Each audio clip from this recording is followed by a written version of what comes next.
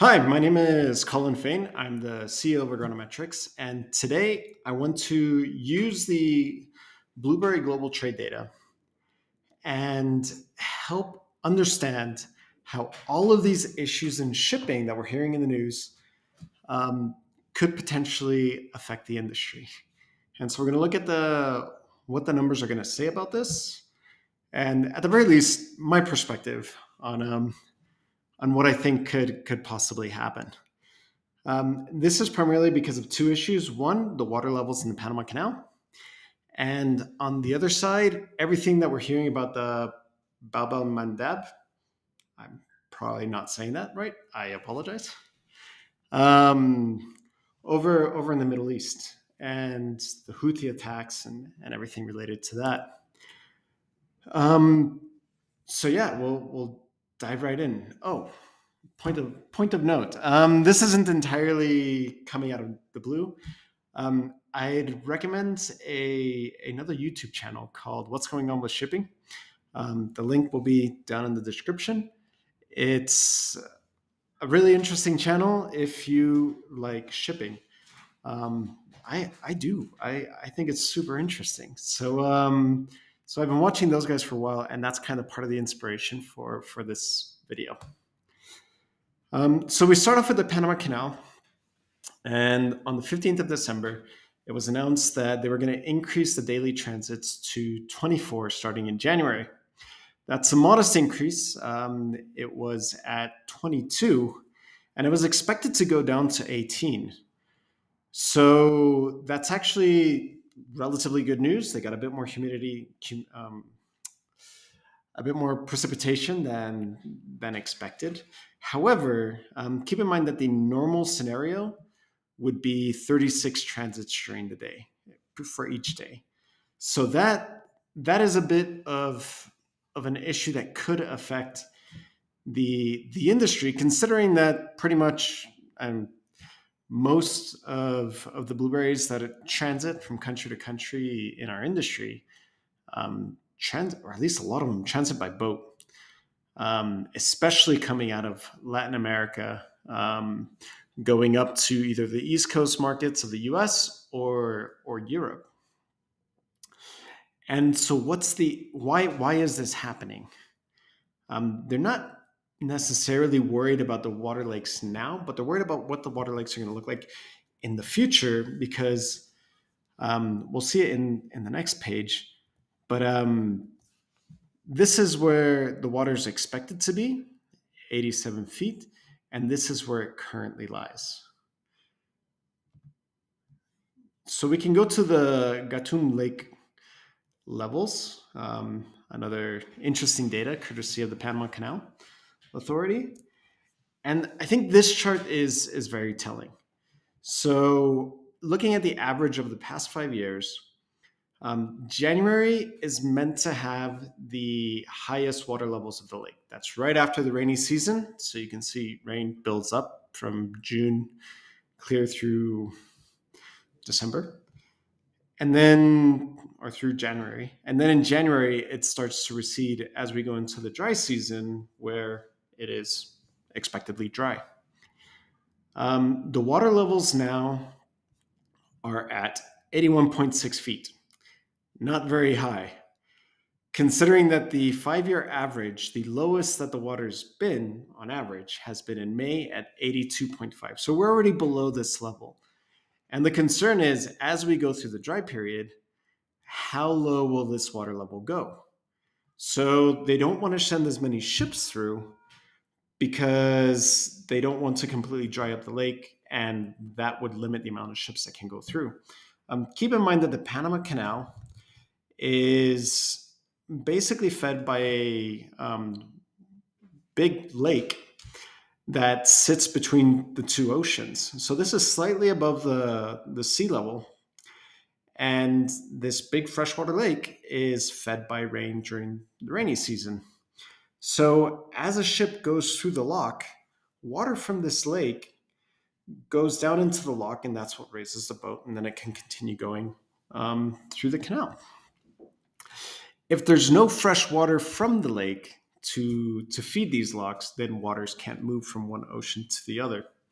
So that's the issue, and that's not not a minor issue. Um, another effect of the low water levels is that they're already putting limits on the draft or the depth that the boats can have going through the canal, which can limit the number of containers that they carry, and by extent, the volume that that travels through through the canal. Um, within our industry, this will be most seen by Latin American exporters that are sending their fruit, as was previously mentioned, to the east coast of the US, or they're sending their fruit across the Atlantic to Europe. Um, this is a great website. If you don't know it, it's Marine Traffic. It's kind of like a boat data nerd's dream. Um, it's got all the information on like almost every single cargo vessel that's made that's traveling on the open seas right now. Um, so, and since this is a boat issue, I thought I'd show this website. Um, if you guys don't know it and you have particular interest in boat movements or ship movements, um, definitely recommend checking it out. So, how will this, what does the data tell us about how this will affect the industry? And so we can go into global trade data and look at what we have available for Latin America. And we're looking at exports from Latin America. So this is every country in Latin America, the exports of every country in Amer- Latin America um, or South America, and wh- who their partners are. So what countries are they sending this this fruit to? Um, and we can see that the biggest players are far and away the United States. Um, we can go more into this if, if need be, but uh, I kind of ran the calculation. About 75% of the Latin American fruit is going to the East Coast, um, if not maybe a little bit more. So, and it's a fraction of, of the exports are then going up to um, Long Beach or Oakland um, or any of the other ports on the on the west coast. Then you've got obviously United Kingdom. Um, the Netherlands is the second largest market, and then minor volumes to China and Hong Kong. Those will obviously not be affected by anything that's going on in the Panama Canal.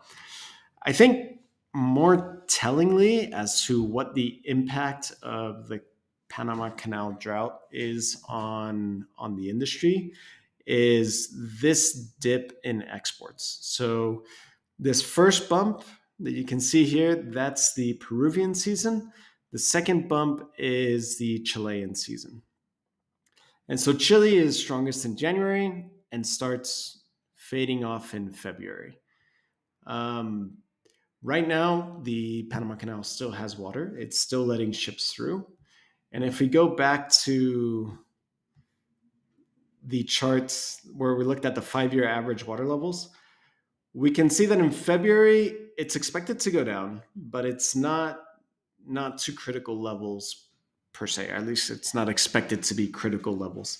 So in February there should still be ships that are able to go through, and um, and hopefully that won't have a drastic effect on on shipments I think around May is where where I'd be worried that there would be um, more of a cut on on the amount of ships that can pass through the through the canal. But fortunately, that is the lowest point of of exports. You know, before exports start picking back again, picking back up again in July, which coincides with the rainy season in Panama and hopefully with renewed water levels within the Gatun Lake.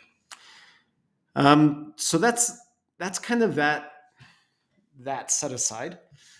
Um, and now I want to talk briefly about the other um, issue that's happening, um, which with the other canal that's famous in the world, which was the Suez Canal.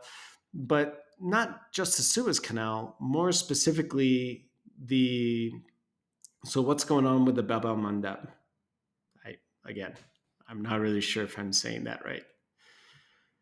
So the issue here, which I'm sure you've you've seen in the news, is Houthi rebels, which are based out of um, the west of Yemen, are attacking commercial ships. Um, initially, it was ships that have some kind of relationship to to to Israel um, because of what's going on with with Gaza Strip, and I think more recently they've said that they would attack any U.S. flagship. Um, it's not great because of this. All of the major carriers, um, major container ship companies, have stopped sending ships through the um, through that strait that I can't pronounce. And so more and more ships, especially from Asia, are redirecting directly through South Africa and then taking all the trip around Africa back to back to Europe. For our industry, um, the potential impact that this could have would be on exports from Asia and Eastern Africa that would kind of naturally be directed through this canal to go to Europe as opposed to all the way around Africa. Um, I think any, anybody that's in the industry is going to get the feel that this isn't a, a huge effect. Um, but we can quantify it. And I was curious to see, okay, how much is that actual effect and what, what do the numbers say? So that's what we're going to dive into now. Um, so we can look at Europe and look at the imports of Europe. So where the fruit in Europe is coming from. And we're going to do expand on this chart, which looks at the inputs by origin. This is partner subregion.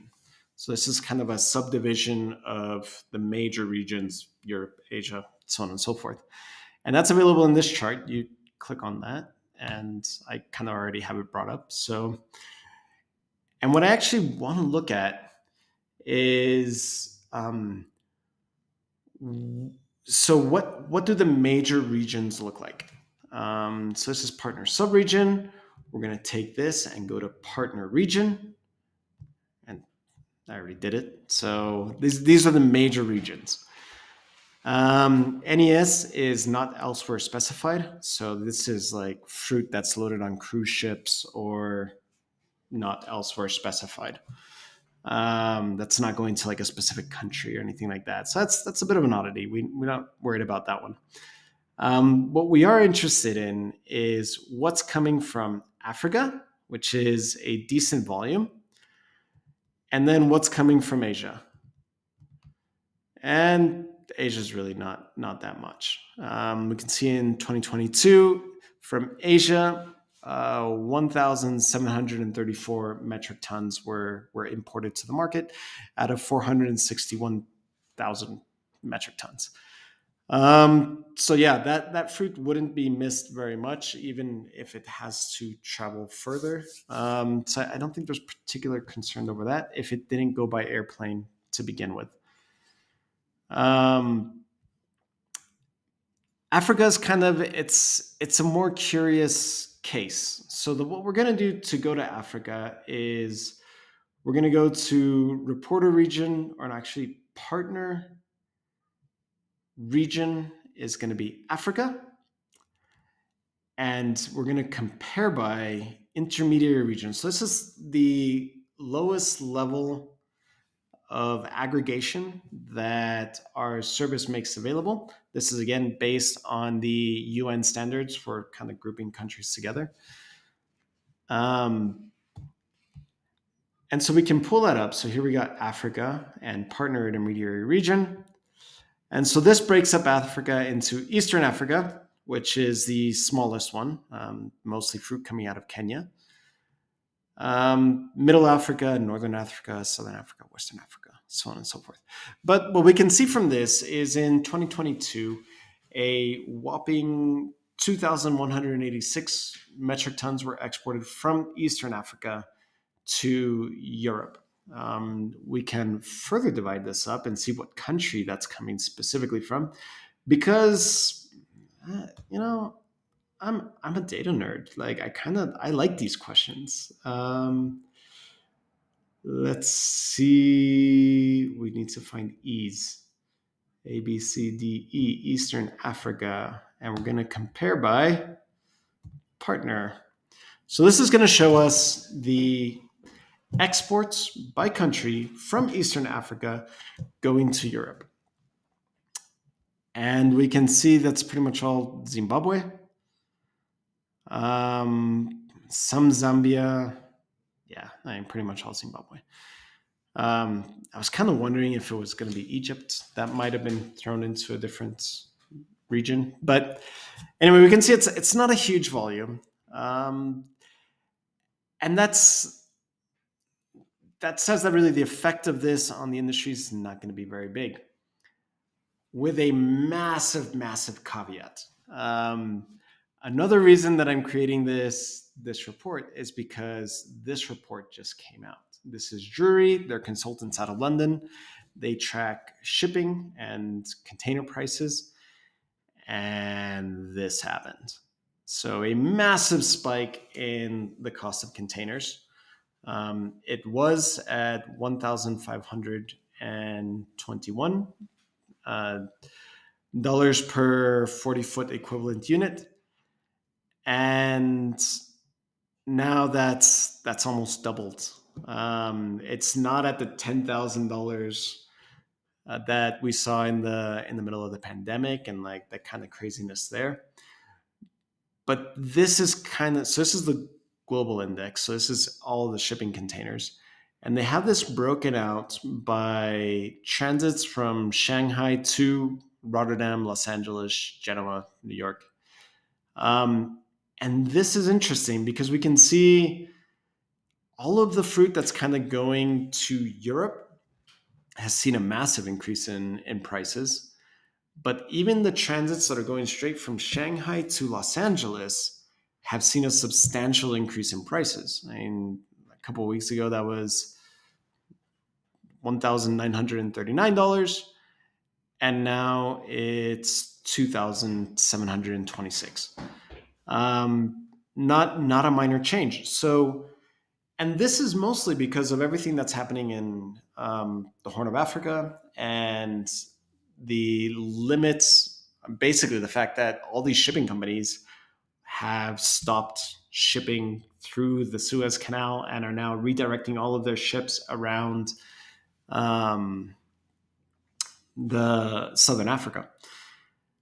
Um, so, although the blueberry industry has kind of is positioned to escape the the biggest effects of um, the issues related to what's going on with um, the canals and specifically like all, all the shipping issues the the effect on the industry is will be effect, will be will be noted will be felt um, especially in shipping class in shipping costs. So if from Shanghai to LA is being affected, I would have very little doubt, and I don't have the data, unfortunately, but that from Chile to the East Coast will likewise be affected.